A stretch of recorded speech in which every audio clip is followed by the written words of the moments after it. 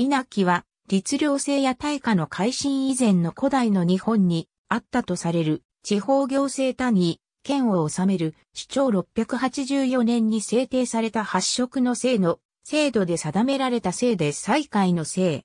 実際には一度たりとも施政されなかったとされる。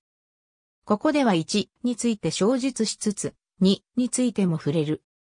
稲城の内実については、屯田、三宅に代表される皇室領の管理者内主は徴税官の官職名国の下級地方組織の県あるいは、表の長の官職名上記二節に分かれているが、皇室の火星機関である内定と関係の深いものであったことは間違いない。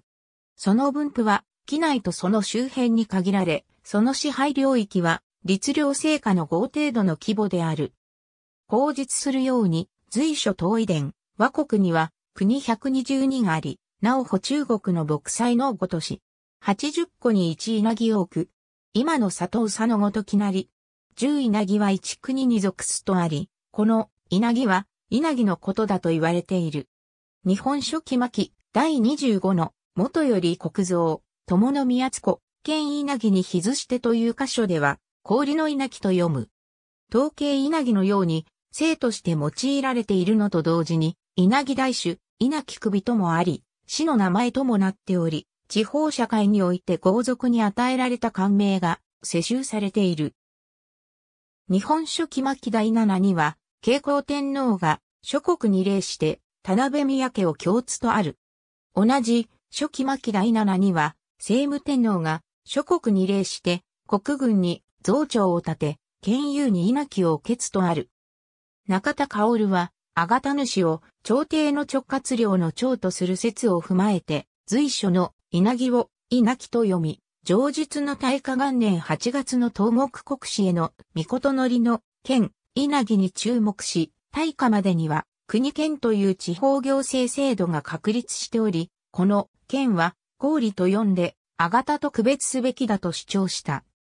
井上光貞はこれを踏まえて、遅くとも7世紀初頭には国県からなる行政組織が成立していたが、地域による不均衡さがあり、小国が県がない状態で国になっていたのではないか。その上で、稲城をあがた主の生と見ると、中田説は妥当だとした。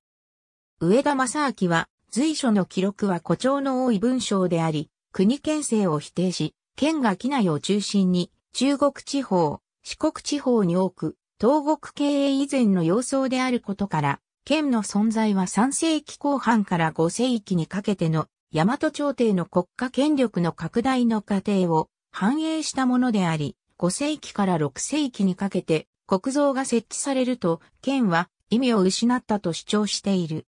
大化の改新後は実質的な意味を失い、天武天皇13年10月に発色の姓が制定され、その中で稲城は第8位の姓として位置づけられた。ありがとうございます。